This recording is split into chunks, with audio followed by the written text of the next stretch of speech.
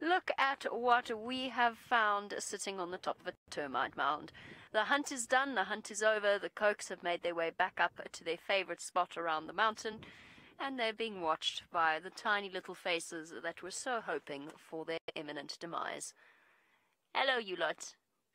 Oh, the Angamas are such a pleasure to spend time with because they're actually they're so easy to find.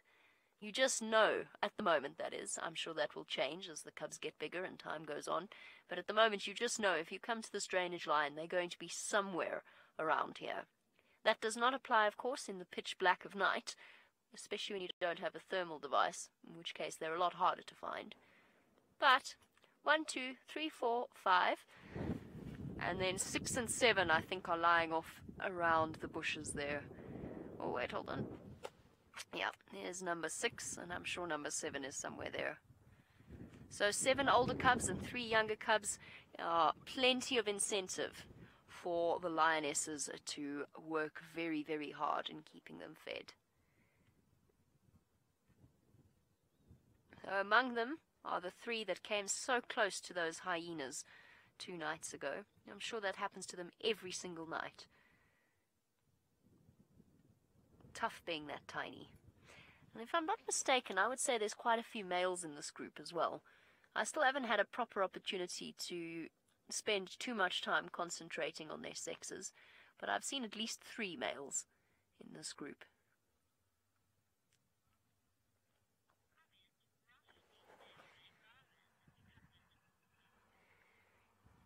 Rashni, you say that the Angamas have become the Nkuhumas of the Mara.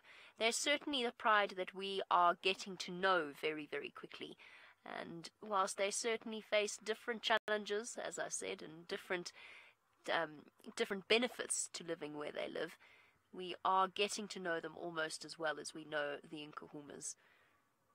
It's okay, little one. Where are you going? Going on a wander. These cubs love climbing trees as well. Where are we off to? All trotting away. One, two, three, four, five, six, seven. All seven alive and well.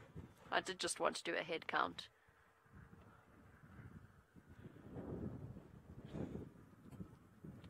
Trotting off. I wonder if they heard Mom.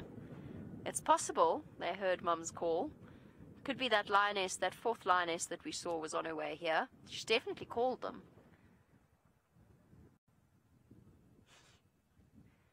little figures moving through the grass.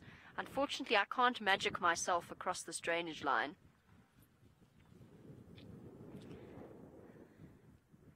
We'll have to go around.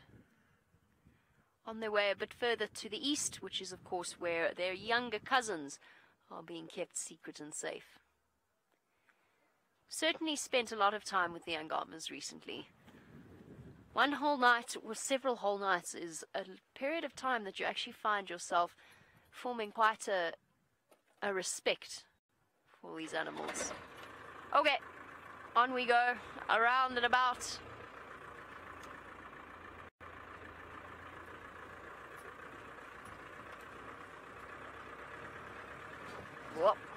I now know every inch of this road so well.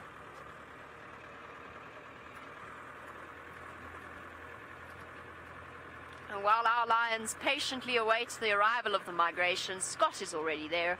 Let's see what the Wildies are up to.